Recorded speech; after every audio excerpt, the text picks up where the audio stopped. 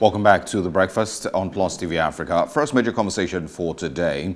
Um, the Economist uh, put out a report um, over the weekend, which, um, well, I think sometime last week actually, which was uh, very, very shocking uh, with some of the quotes and statements that were made in that report. And um, I'll share with you some of them. It says, when violence erupts, the government does nothing or cracks heads amongst indiscriminately. Nigeria's army is mighty on paper, but many of its soldiers are ghosts who exist only on the payroll and much of its equipment is stolen and sold to insurgents. That's one of the things that was uh, a part of the uh, uh, quotes from the write-up by The Economist that got a lot of Nigerians talking. Um, it also says the army is also stretched thin, having been deployed to all of Nigeria's states. The police are understaffed, demoralized, and poorly trained. Many supplement, uh, supplement rather their low pay by robbing the public, and they have, uh, rather, by robbing the public, they have sworn to protect. Um, another very, very shocking uh, statement on that report. It says money could have come from cutting wasteful spending by the armed forces on uh, fighter jets, which are not of much use for guarding schools just examples of some of the things that were made, uh, statements that were made in that report. And I hope that we'll also get to share a little bit more of them with you as we go on with this conversation. This morning, we're speaking with a security expert, Kabir Adamu.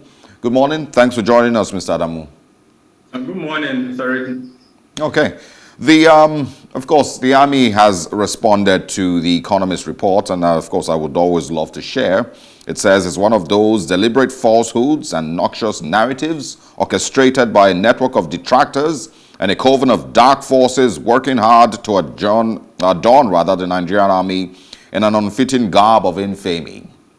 It basically also said that the Economist is uh, seemingly sponsored to defame President Muhammadu Buhari. We'll get to the response by the Nigerian army in a bit, but I want you to start with talking about your um, analysis of the Economist uh, report. Okay, um, th thank you. Uh, it's a report that it's coming at a time when, unfortunately, the Nigerian military is challenged. Um, just like the report indicated, it is deployed in increasingly, actually, in internal uh, security uh, matters um, when, frankly, that is not its primary responsibility. But remarkably, uh, the military has, for some reasons best known to it, taken up that responsibility. And in fact, um, a lot of people in Nigeria see the military as perhaps the only institution, that fabric that has held uh, the country together um, as a result of these overwhelming challenges. In other words, there is a perception that if the military had not come in to uh, in an attempt to address these internal security challenges, perhaps this fabric of the country would have collapsed uh, by now because those institutions that have the responsibility for addressing those internal security challenges have not been able to um, so far. Now, um, the report did mention the police too as one of the institutions, and of course, it also talked about the in inadequacies within the policing system. So yes, uh, a lot of what the, the, report said is reflective of the current situation in Nigeria. However, uh, there were, I would say, missing gaps um, efforts that have been made by this administration and previous administration to improve the circumstances within the military and the police were not mentioned by that report. And I think um, the ideals of journalism places that responsibility that when you are doing such a report, when you are especially highlighting such um, inadequacies, deficiencies, you should also highlight some of the positive. And I'll quickly mention some of the effort by the both this government and previous government to improve the military institutions. One of them is reforms aimed at improving human rights and rules of engagement between um, these institutions and the public. So we know, for instance, the military has received extensive training, both internally and in with foreign partners, in an attempt to improve this human rights record as well as the rules of engagement. We also know that some structural changes have occurred within these institutions. So they've created departments for interaction between the military and those civil security departments. So you have a civil military coordination unit at the moment within the military. You also have instances where infractions by these military officers have been addressed by the military institution. Uh, corruption is an example. Um, we know of a case where a soldier was arrested in Borno State for raping a minor, and that soldier has been sentenced. Uh, we also know of several other cases where uh, several military officers have been court-martialed. So those efforts have been made, and I think it would have been very fair for that report to acknowledge and take note of those, those efforts, despite the deficiencies it, it highlighted.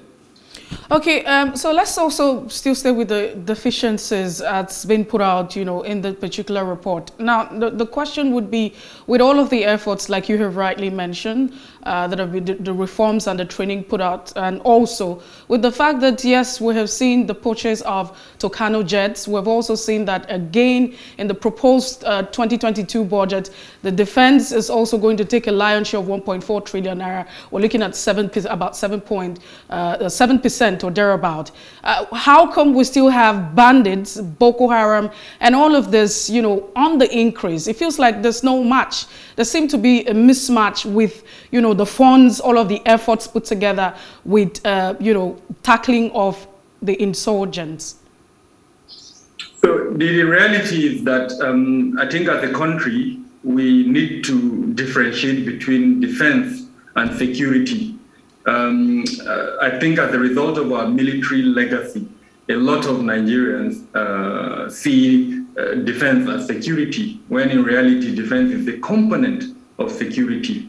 Uh, and I'll quickly explain what I mean. If we have a challenge, like we do have in terrorism, in banditry, and name them several other challenges, what we do is we deploy uh, personnel with guns, and we think by deploying them, they will be able to address those challenges. Um, no, security uh, encompasses more than that. Security is the whole gamut of protection that requires both this physical, um, you know, forceful deployment as well as the soft component that would address especially the root causes of those challenges. So yes, we're spending money uh, on you know purchase of hardware, but are we addressing those root causes of security, uh, insecurity rather? Um, unemployment as an example, and I'm happy yesterday the NLC and I think another uh, labor union highlighted this topic. No matter how we attempt to address insecurity, if we do not tackle unemployment and poverty, then unfortunately uh, it will be very difficult. Even if we buy, you know, 100 Super Tucanos, 100 helicopter gunboats, um, and we employ even 2 million security uh, personnel, if we do not address those root causes, then unfortunately the situation will continue. The other point is corruption. How much of this 2.4 billion, um, trillion rather, would be dedicated to act the actual um, you know, issues that were highlighted in the budget, what percentage of that would actually go to corrupt hands? Um, you are living witness to the fact that there was a time when a technocrat in this country suggested that for every 10 kobo budgeted, 8 kobo of that, of that 10 goes to corrupt um, pockets so it appears maybe only 20% of that money is actually going to, to, to what it was meant for. Now, if that's the case, it means unfortunately we're pouring water into a basket. And um, for us to see the effect of this 2.4 billion, we will have to block the leakages through which this money is going. And to do that, we need to introduce and, and, and, and, and strengthen the monitoring and evaluation mechanisms within the entire security architecture that this 2.4 billion, uh, trillion will be going to. If we don't do that, then unfortunately uh, it would it would be a, a waste. Um, these monies will be unfortunately not uh, be deployed for those right direction. The other element is also the civilian oversight over uh, this, this um, you know, departments in government. Uh, the National Assembly, as an example, and under our current democratic disposition, has that responsibility for oversight over the military. So as an example, I'm hoping that this report by The Economist will serve as a basis for these relevant com committees within the National Assembly to oversight and ask critical questions regarding some of the allegations within in, in that report. Now, those are the various ways with which the, the, those institutions can live up. I can tell you, unfortunately, that the capacity and capability for that oversight um, at the moment is not uh, adequate. Um, it can be improved upon. Um, not too long ago, you saw what happened in the US when there was a bombing uh, in Afghanistan during the evacuation of um, citizens and then they, they killed citizens. You saw how the Congress immediately set up a committee. And of course, the matter has been, you know, decided uh, that the bombing was wrong, and I think compensation is being discussed. So that kind of oversight also reduces these types of deficiencies and inadequacies within those military, and it reduces the um, possibility of those leakages I, I, talked about. 2.4 trillion will be a waste if we do not strengthen these two things that I, I mentioned, unfortunately. Well, uh, Mr. Adamu, I'm sure you also know that we don't have that level of oversight, you know, with our National Assembly um, that you know immediately puts to effect uh, certain you know decisions. Um, we would have committees set up, you know, that very a lot of times don't really lead to you know anywhere. But I want to take you back. You know, from what you've said, the Economist report isn't wrong. It's mostly correct. The only challenge is that they didn't include some of the gains that the Nigerian government has also achieved, you know, with its military. Um, and one of the things that you mentioned is corruption, which later on you've also mentioned corruption as a major challenge. Um, even if you in initially said that corruption, you know, is one of the things that they had also tried to fight, you know, with, uh, you know, an arm, a soldier uh, who was court-martialed for defiling a minor. But the, the Economist is pointing out corruption, and I believe at the topmost level, um, and the fraud that exists with the amount of money and billions of naira that are budgeted and are spent, you know, that don't seem to be achieving much. And so I want you to speak once again on corruption um, and you know, how much of a, of a damage it is causing to the fight against um, insurgency and, and insecurity? Um, a lot. Uh, there is a direct correlation between corruption and the deficiency of equipment and the morale of soldiers, uh, both at the battlefront and in other spheres, uh, the theater of, of, operation by the military. Um, so I'll quickly explain what I mean. Um, equipment is usually bought as a function of the requirement. So when you buy fighter jets, um, you are hoping that, that those fighter jets will be used for specific purposes. But then, what are what are the challenges that you have for which you went out to buy those fighter jets? There has been this argument, as an example, that perhaps instead of fighter jets, because of the nature of the both terrorism and insurgency and banditry that we have in the country, what would have been relevant for us was um, helicopter uh, gunships or other other types of assets that have you know possibility for deployment in this type of um, internal uh, issues of insurrection. Uh, jets, unfortunately, don't have the cap capability for close range of operations, but yet that's what we went to buy. Now, did we buy because we anticipated another type of security challenge, or what stopped us, for instance, for buying both the jets and then these types of helicopter gunships? Uh, currently, we have the Super Tucanos, which are also very good for this type of close range and ideal, um, you know, uh, operations uh, internally, uh, uh, like what we have. Um, now, the other element that is also important, uh, like I said, there's a direct correlation. Nigeria is one of the few countries that I know in the world where you have an ongoing war, and I know this is debatable, but I, I am of the opinion that we do have a war uh, ongoing in several fronts in Nigeria. Uh, in all the definitions of a war, both the UN and others, uh, I think what we have in Nigeria is qualified as that. But yet our soldiers still move in soft skin vehicles.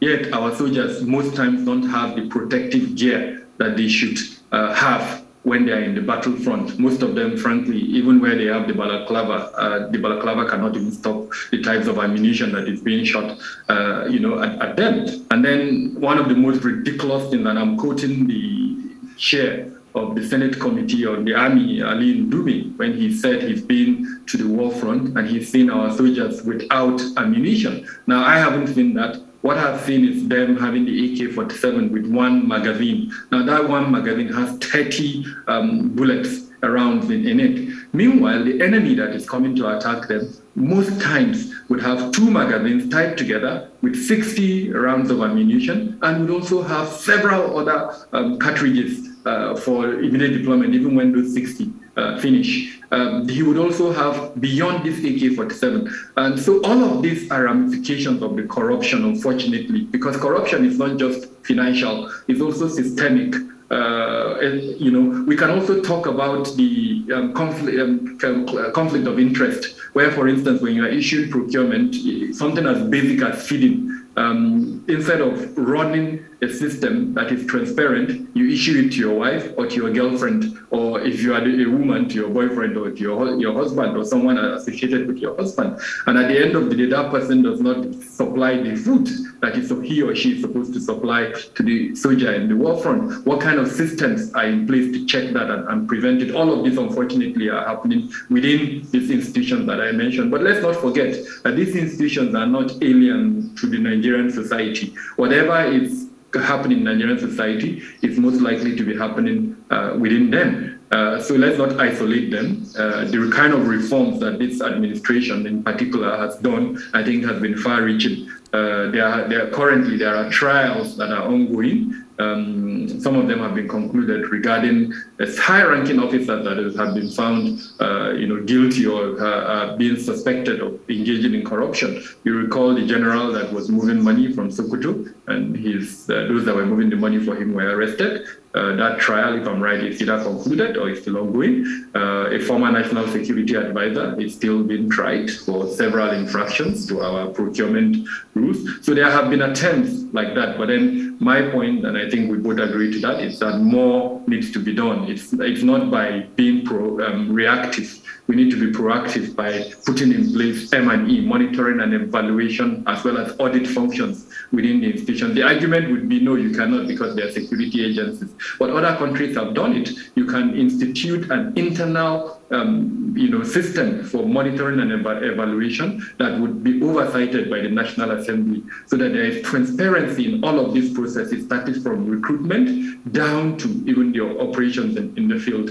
Uh, procurement is one gray area. I, have talked about it in the past, and I, I know that is one area that increasingly we're seeing corruption from within those institutions. So monitoring and evaluation, auditing functions would hopefully reduce um, this corruption.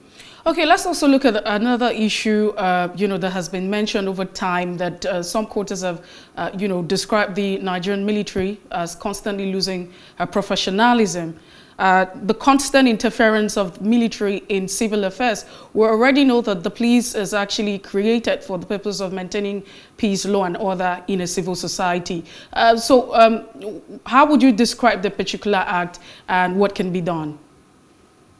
So it's a two-way thing. The military doesn't just wake up and you know interfere. They are usually directed to interfere, uh, usually by a presidential pronouncement, uh, something coming from the presidency. It could be from the president himself or from any of his uh, aides that has the responsibility for that. Now, in other countries, what happens is that the National Assembly would have some say in that type of deployment. Uh, you know, there should be, most times, there is a criteria, and I know the Constitution provides for that uh, sort of conditions before the military is deployed. But because of our military era, uh, it's become a norm. And I can tell you, you know, I've been in circumstances where even governors have kind of supported the deployment of military in their state. Um, there are certain instances where uh, the, the, federal government would want to redeploy the military from certain states, uh, perhaps for expediency or because of um, certain requirements that have arisen.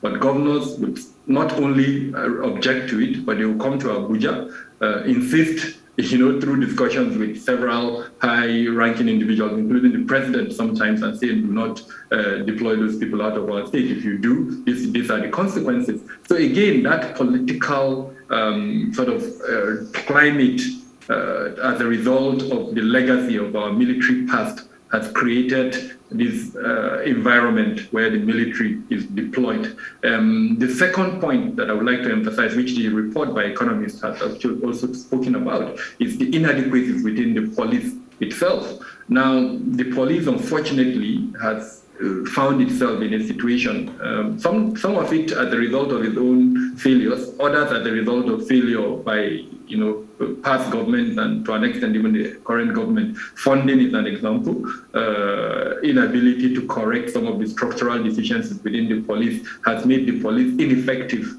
and incapable of addressing those, those challenges. And so the military has stepped in to cover that, that gap. But it's a catch-22 situation, and the, the continued deployment of the military means the police will never be, you know, in that position where it will take up its responsibility. So that I am an advocate, and I know there's a lot of people who are also advocating that that we need to draw a line at some point and redeploy the military and ask the police to take over its responsibility. But to do that, it means the police would have to be strengthened. And I am happy to say this administration, the Buhari administration, has done done a lot in an attempt to strengthen the police. Um, the Police Act that has been um, passed not too long ago. I think it was in 2019.